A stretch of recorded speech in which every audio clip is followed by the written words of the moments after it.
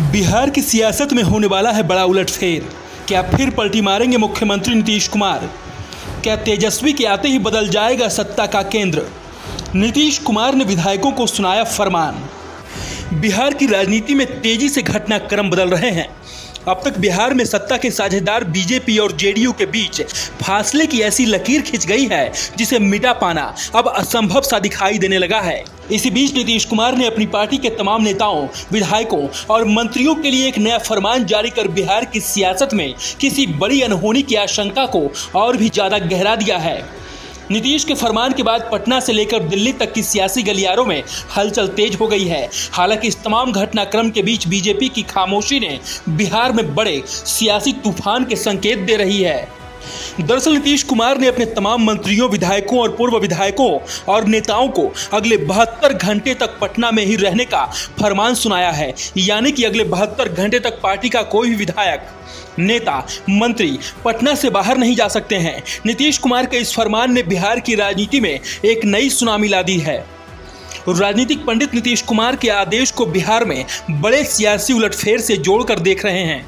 यानी कि अगले बहत्तर घंटे बिहार की राजनीति के लिए न सिर्फ़ संवेदनशील हैं, बल्कि बिहार की सियासत में मील का पत्थर साबित हो सकते हैं। ऐसा नहीं है कि नीतीश कुमार और तेजस्वी यादव की नजदीकियों से प्रदेश की जनता वाकिफ नहीं है। दोनों के बीच बढ़ती करीबी और एक दूसरे के साथ जिस तरह से दोनों सहज दिखाई दे रहे हैं, वो इस बात के संकेत है कि नीतीश कुमार को तेजस्वी यादव या फिर राजद से गठबंधन में अब कोई दिक्कत नहीं है। वैसे भी 2015 के चुनाव में मिली जीत के बाद दोनों मिलकर बिहार में सरकार चला चुके हैं। लिहाजा अगर एक बार फिर दोनों एक साथ दिखते हैं तो इसमें ज़्यादा हैरानी नहीं होनी चाहिए। बिहार की सियासत पर नज़र रखने वाले राजनीतिक पंडितों का कहना है कि दरअसल तेजस्वी यादव फ़िलहाल लंदन में है और वो कभी भी पटना वापस आ सकते हैं। और उनके आने के बाद ही किसी भी तरह की घोषणा होगी।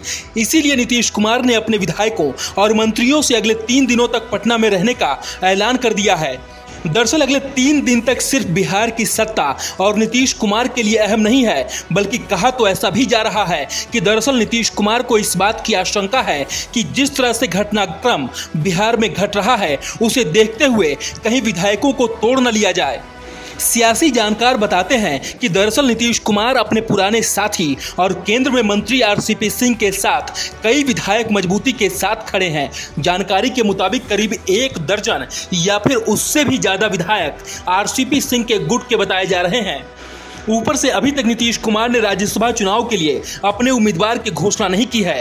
कयास तो ये भी लगाए जा रहे हैं कि दरअसल नीतीश कुमार इस बार आरसीपी सिंह से इतने ज़्यादा खफा हैं कि इस बार आरसीपी सिंह का पत्ता कटना पक्का है। और ऐसी स्थिति में अगर विधायक पटना से बाहर रहते हैं तो उनके पार्टी छोड़ने की संभावना और भी ज़्यादा बढ़ जाती है। और अगर ऐसा होता है तो पहले ही तीसरे नंबर की पार्टी बन गई जेडीयू के लिए और खतरा साबित होगा।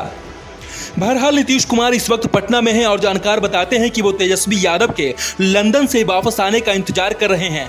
उनके आने के बाद कोई बड़ी घोषणा होने की उम्मीद है और मुमकिन है कि जिस तरह से 2017 में रातों रात नीतीश कुमार ने पाला बदलकर बीजेपी के साथ मिलकर सरकार बना ली थी। वैसे ही इस बार भी हो सकता है। खैर, इन तमाम अटकलों के बीच बीजेपी की खामोशी इस बात का इशारा कर रही है कि वो इस वक्त नीतीश कुमार के अगले कदम की राह देख रहे हैं। उसके बाद ही वो कोई फैसला लेंगे। बहरहाल, अब ऐसे में देखना होगा कि अगले तीन दिनों में बिहार का सियासी ऊँट किस करबट बैठता है। नखरे वाला बेटा हो या डाइटिंग वाली बेटी? डायबिटिक दादाजी हो या वेजिटेरियन मामा जी सबको मिलेगा उनकी पसंद का खाना। बस एक क्लिक पर। Download rail restaurant and get tasty foods on your seat.